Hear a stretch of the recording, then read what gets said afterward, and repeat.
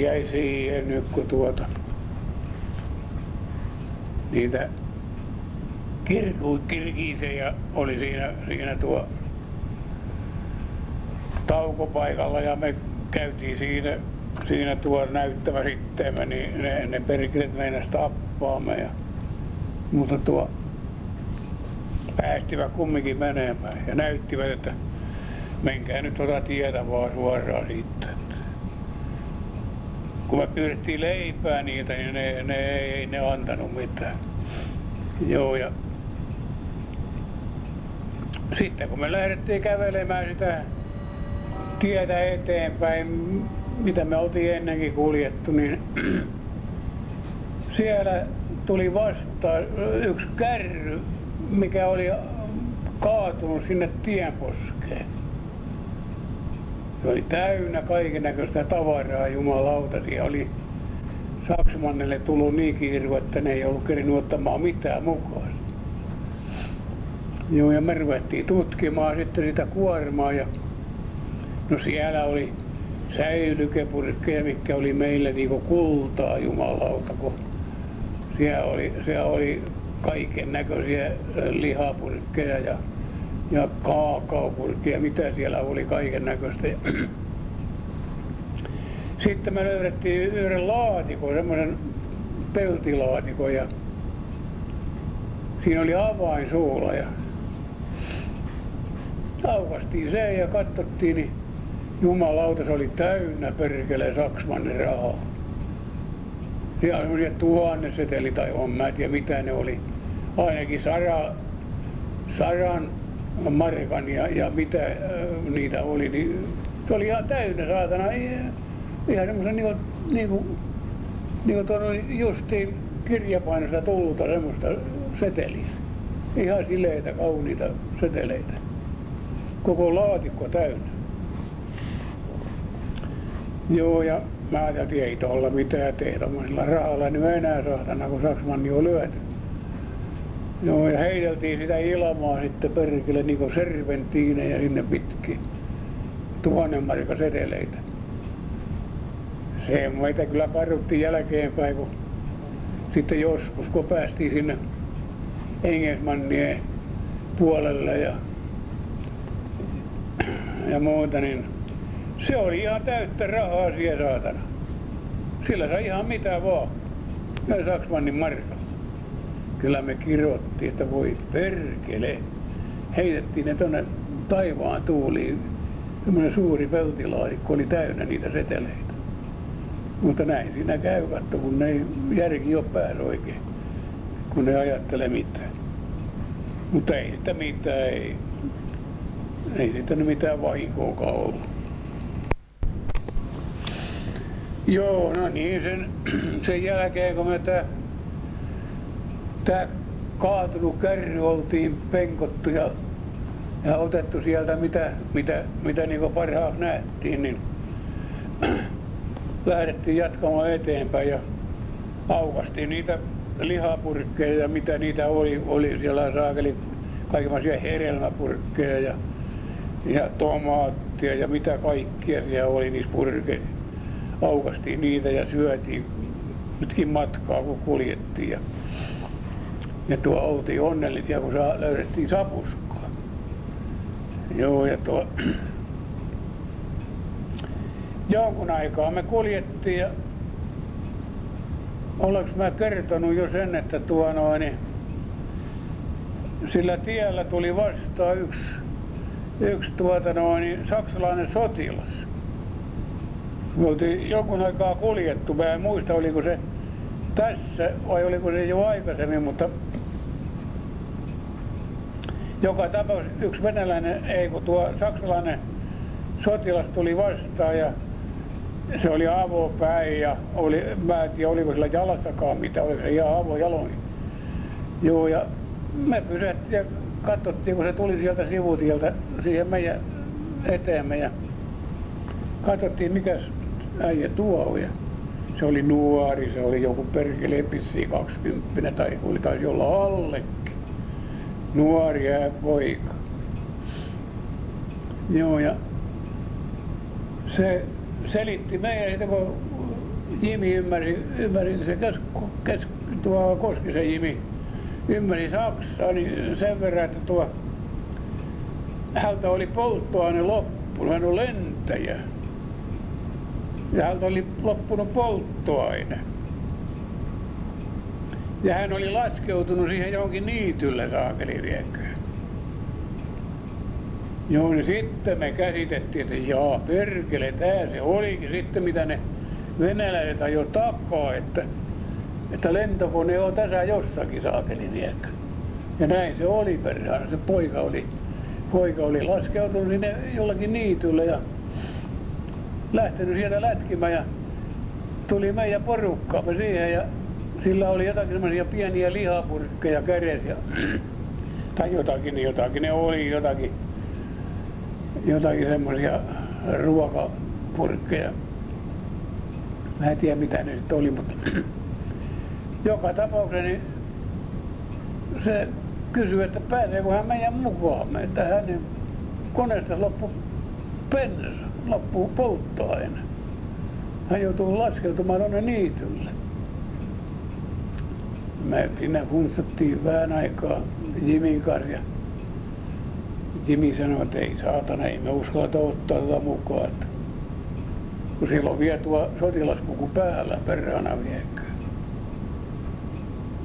Ne ampuu me kaikki saatana, jos me lähdetään lätkimään tästä johonkin päin. Joo, niin me täytyy puristaa vaan päätä, että ei me voida ottaa sua mukaan. Sori vaan. Joo, ja no ei Saksmani siinä mitään sen enempää sitten puristeli päätäs vaan ja heitti meille sen toisen purkin niistä. Ne oli jotakin lihasäilykkeitä. Joo, ja tuo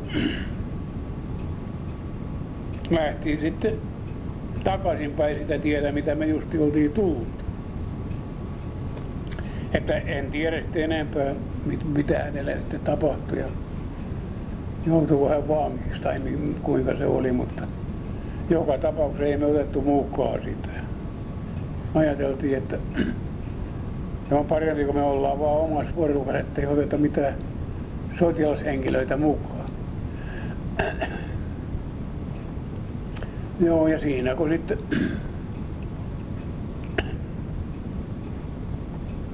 siinä kun sitten tausittiin taas eteenpäin pikkuhiljaa, niin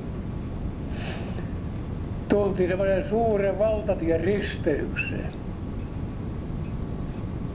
Tai lähelle sitä joka tapauksessa. Niin siellä meni jumalauta kauhea kolona pitki tietä.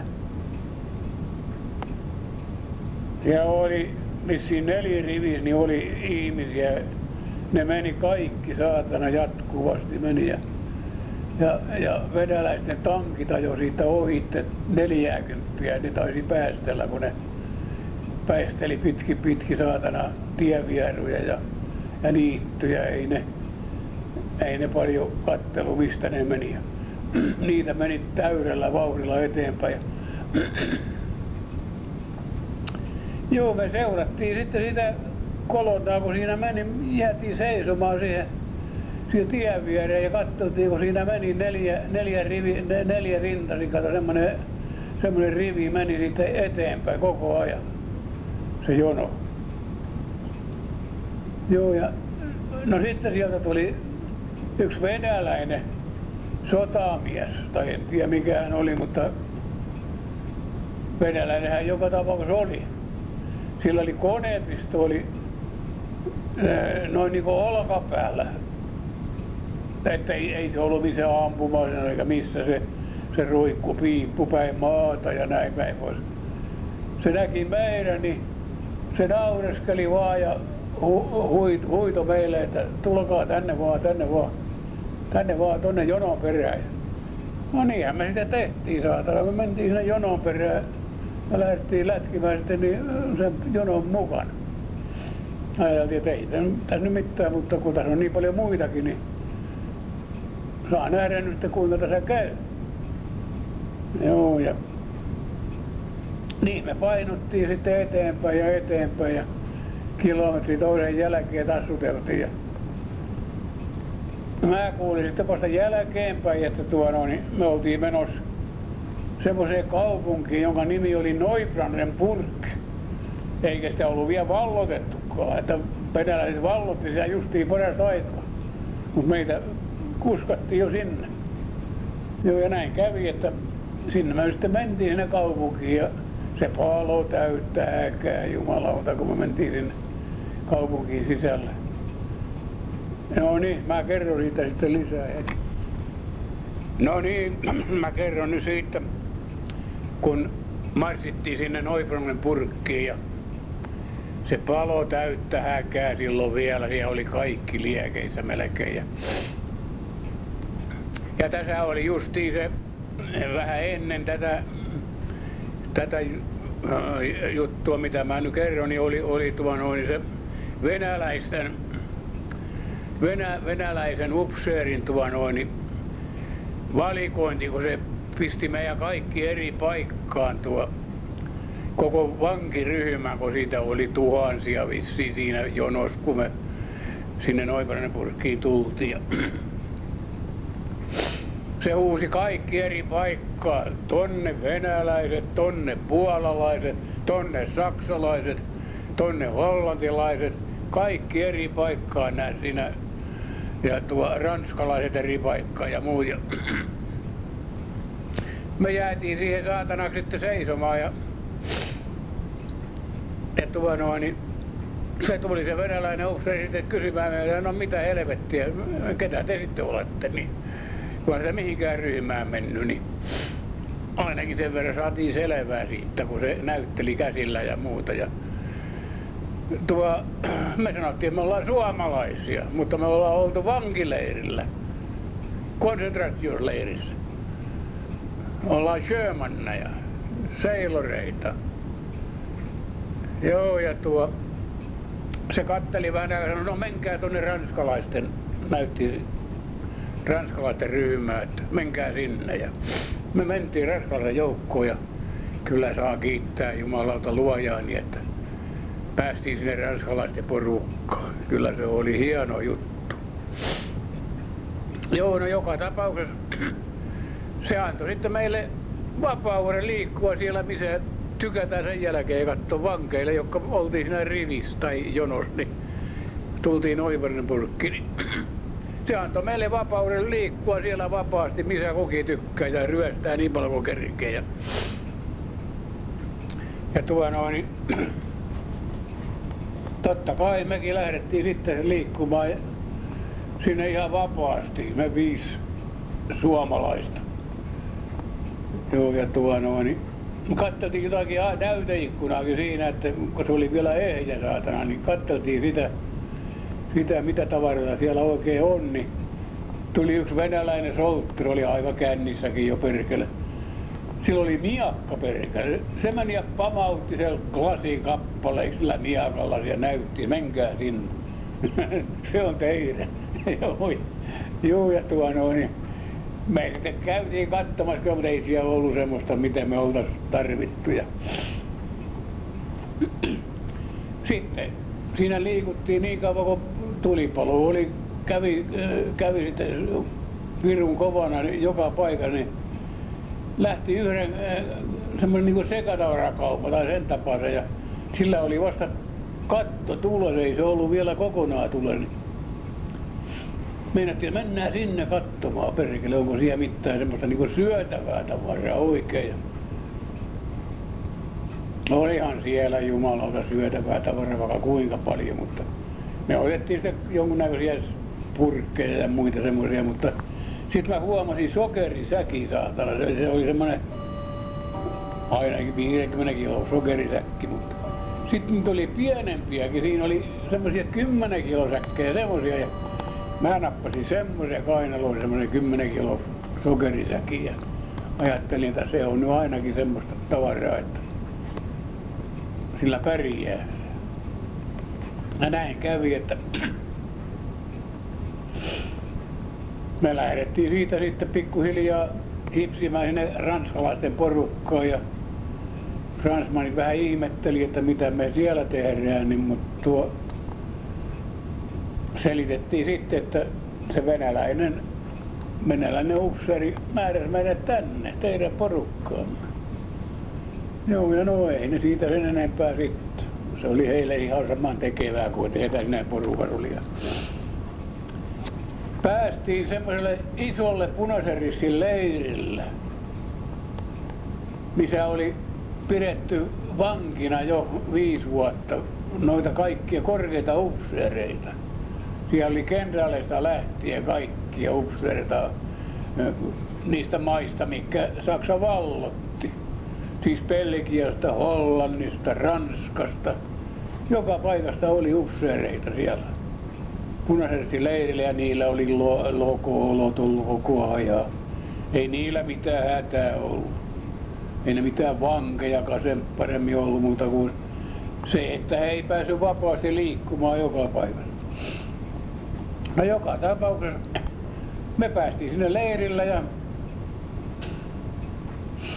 ei me siellä kovin kauan oltu, oltu kun tuli yksi hollantilainen, kun se oli kuullut, että täällä on suomalaisia täällä leirillä. Joo, niin se tuli tuo noin niin katsomaan meitä ja puhui ihan puhdasta suomea. Me ihmeteltiin, no mikä helvetti, kun millaisen suomea puhut noin hyvin. Sanoi, että äh, hänen isänsä oli suurlähettiläänä tuolla noin Helsingissä monta vuotta ja hän oli silloin vielä pikkupoika, että hän oppi suomen kielen. Ja se kysyi, että mitä mä nyt ensi tilassa halutaan. Ja mä näytin, näytin ensimmäiseksi tuon jalkani, kun se mätäni koko ajan ja, ja oli semmoinen märkää paperia saatana, kun mä olin siihen kiertänyt ympäri, niin se haitikin niin helvetisti, niin, niin tuo, näytin sitä ja sanoi okei, okay, okei. Okay. Hän tulee ja hakee hommaa sulle lääkärit ja niin kävi saakeli, että ei mennyt kauaa, kun sieltä tuli kaksi ranskalaista jotakin sanitääriä. Mä en tiedä mitä he taisi olla lääkäreitäkin, mutta ne ihmetteli saakeli, ne katteli, kun helvetin suuri laikka ja se mätäni koko ajan. Ja ne tuono, niin ne, ne, ne katteli sitä ja sitten rupesi pistämään ja siihen jotakin semmoista pulveria. Ne pöllytti sen koko, koko saatana jalan niin semmoisella pulverilla ja, ja sitten veti siteet päällä ja sanoi, että he tulee huomenna uudestaan. Ja näin kävi, että se rupesi perkele tuolla niin paranemaan sitten pikkuhiljaa ja siihen tuli semmoinen punainen ohkainen nahka sitten vihreä päällä ja siitä se rupesi sitten paranemaan, että tuli semmoinen oikein kunnon nahkakin sitten vihdoin viimein. Mä olin mielissäni jumalauta, kun sain semmoisen hoidon. Ne oli, kun kävi katsomassa joka päivä ja, ja tuo noin, niin sanoi, että siitä kyllä se paranee, se tulee hyvä ja näin päin pois. No sitten nämä, Holla, niitä oli kaksi niitä hollantilaisia upseereita. Toinen ei puhunut suomea, mutta toinen puhui hyviä. Ne rupes hommaamaan meille tuo noin, san, ne sanoi, että tuo ranskalaiset päästetään ensimmäiseksi ulos, venäläiset päästään ranskalaiset ensimmäisenä kotiin. Niin hän hommaa teille ranskalaiset uniformut, ranskalaisen suikan, ranskalaisen kokarin suikkaan ja Ranskan lippu rintaan. Ja muistakaa sitten, kun, kun tuo, tulee se kotiin lähtö tai sinne autoon hyppääminen, niin tuo, kun venäläiset sieltä tulee joku semmoinen venäläinen, joka osaa, osaa vähän niin kuin puhua englantia ja muuta, niin tuo, se huutaa nimet. Niin muistakaa, että ette höpise mitään muuta kuin sanotte vaan ui, kun kuulette vähän sinne päin, että on teidän nimenne. Ja näin kävi saakeli viekö, että ne venäläiset venäläiset upseerit tuono, niin kävi vielä tarkastamassa parakit ennen sitä kotiin pääsyä. Ja siinä meillä olikin paska jäykkänä, kun me komennettiin siellä parakissa, missä me oltiin ranskalaisten parakissa, siis yövytty jo nyt. Ja tuo, sinne tuli yksi korkea venäläinen upseeri. Sillä oli semmoinen helvetin suuret keltaiset kaluunat ja, ja tuo noin, niin tähdet lak, lakissa ja no totta kai meidän komennettiin heti ylös ja, ja riviin siihen sänkyjen päähän ja se käveli edes takaisin siinä jumalalta siinä siinä tuo noin konkissa sitten, kun, minkä me oltiin jätetty siihen väliin. Tuo, ja se perhana kyseli vähän sieltä sun täältä ranskaksi aina jotakin ja jumalauta me pelästyttiin, että ei meistä kukaan saatana osannut ranskaa sanaakaan. Joo, että jos se perkele niin kysyy meiltä jotakin ranskaksi, niin me ei me, ei me saatana pärjätä kyllä tässä jutussa.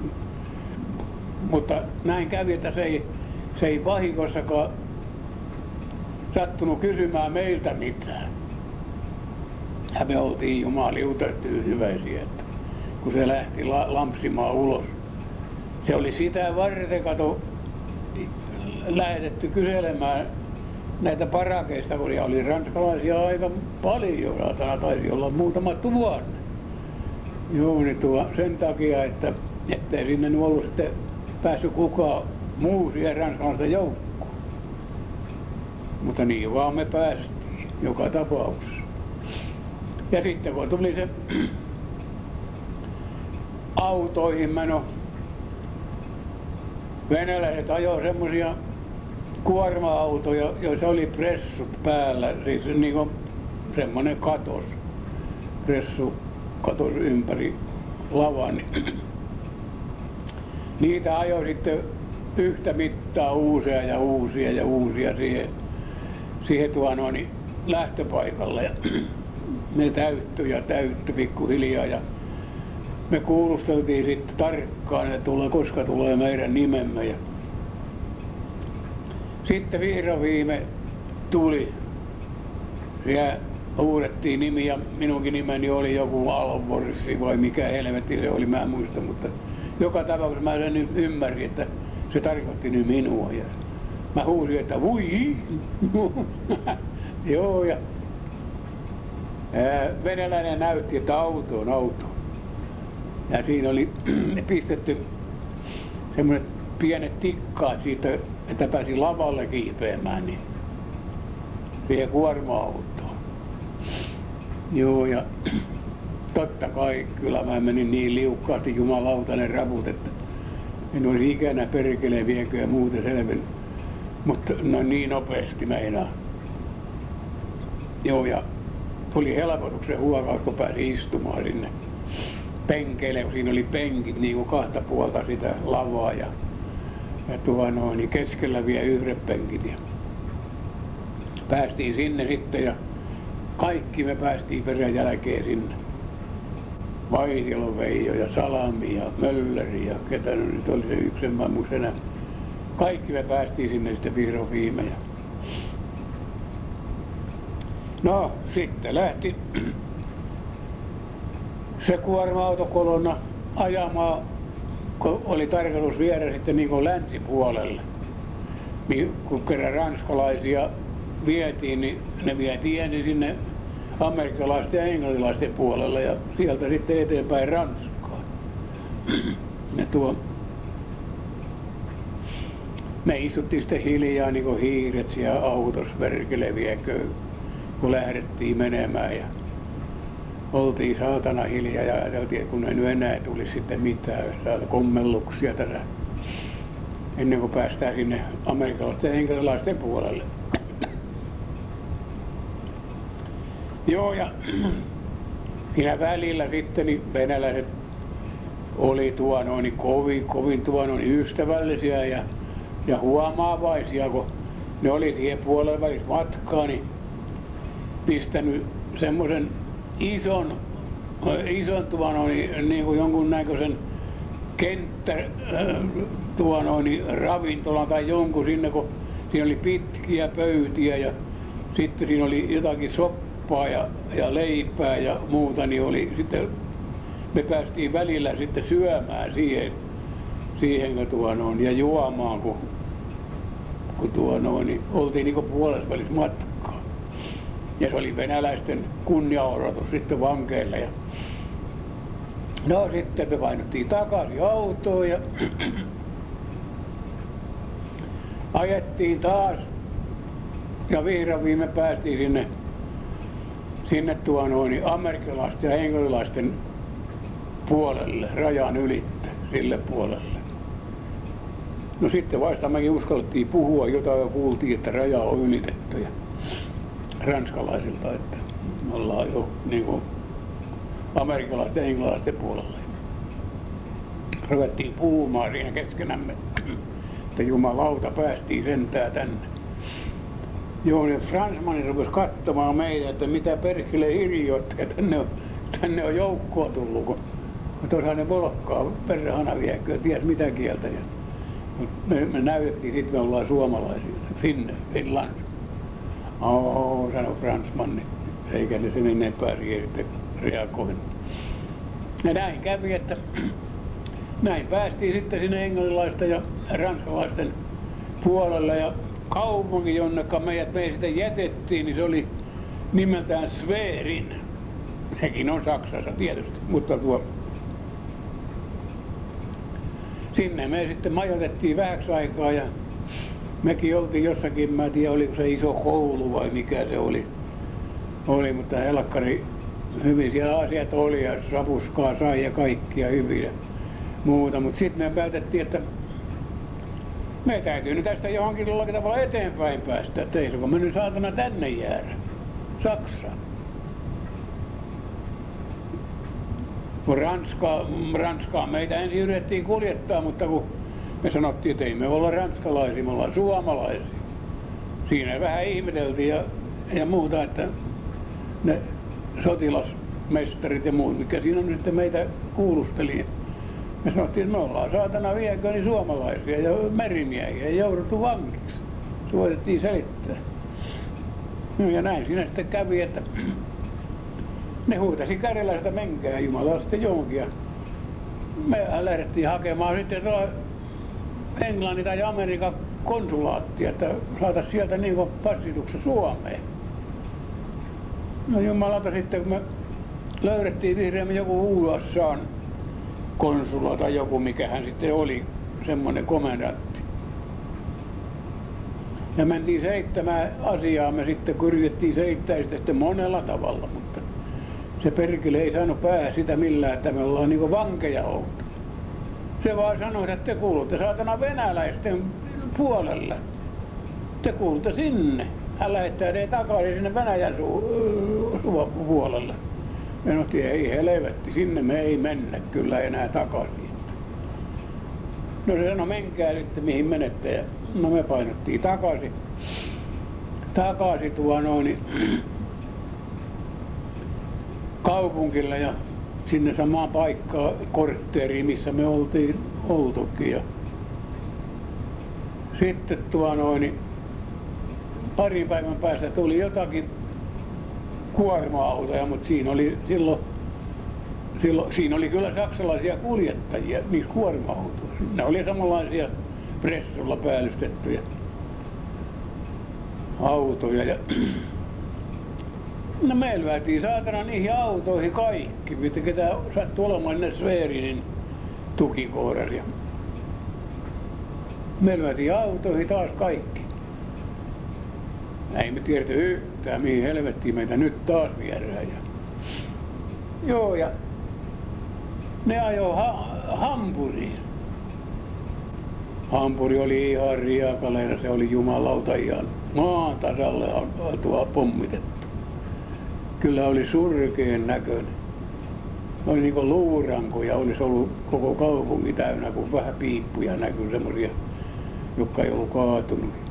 Kyllä se oli kaameita, kun se oli. Karukki oli semmoisia, ettei niistä enää nähnyt ollenkaan, että ne on katuja. Ne oli täynnä raunioita.